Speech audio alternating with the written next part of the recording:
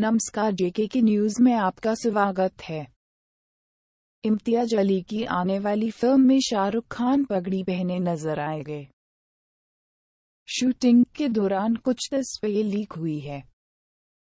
इम्तियाज़ अली, शाहरुख खान और अनुष्का शर्मा के साथ शूटिंग कर रहे हैं।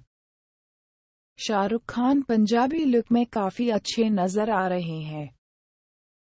ये फ़िल्म 11 अगस्त 2017 में आपको देखने को मिलेगी। जे के के न्यूज़ को सब्सक्राइब करें, धन्यवाद।